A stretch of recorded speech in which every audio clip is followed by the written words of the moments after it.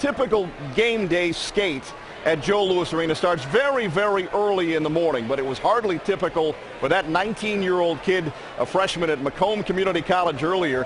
Jordan's a kid who grew up playing hockey in Fraser and Berkley and then was hit with the staggering news that he has cystic oh, fibrosis. Some, but not all of his hockey dreams ended with that diagnosis.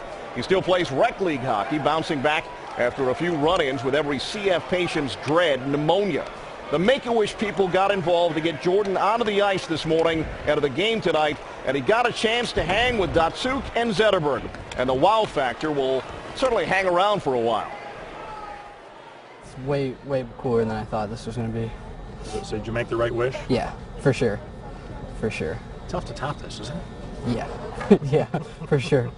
Oh, it was awesome. You know, we, uh, I guess uh, first time I heard it was last year, but he, uh, you know, had an accident with his with his ankle, so he couldn't really come out and skate with us. So uh, when we heard he was coming out uh, this year, we were, we were excited.